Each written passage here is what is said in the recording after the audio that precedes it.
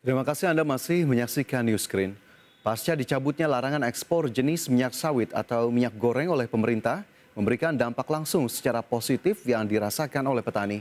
DPP Apkasindo menilai larangan ekspor sawit justru mengganggu kesejahteraan petani akibat rendahnya harga tandan buah segar atau TBS.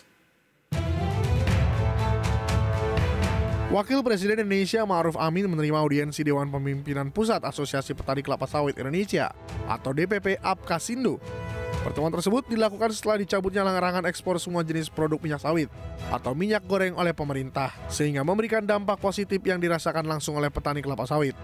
Dalam pertemuan tersebut, Wapres menjelaskan sebelumnya telah dilakukan rapat terbatas pimpin oleh Presiden Joko Widodo pada 17 Juli 2022 lalu tentang wacana pembentukan pabrik CPO mini berbasis koperasi. Sehingga ke depan diharapkan dapat meningkatkan harga tandan buah segar dan para petani tak hanya bergantung pabrik besar. Saat ini pemerintah terus berupaya meningkatkan harga tandan buah segar atau TBS sawit untuk menurunkan harga minyak goreng demi kepentingan rakyat. Hal tersebut dibuktikan dihapusnya sementara pemungutan ekspor CPO beserta produk turunannya.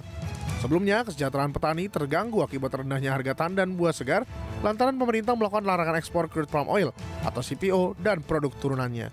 Dari Jakarta, Rian Rahman untuk IDX Channel.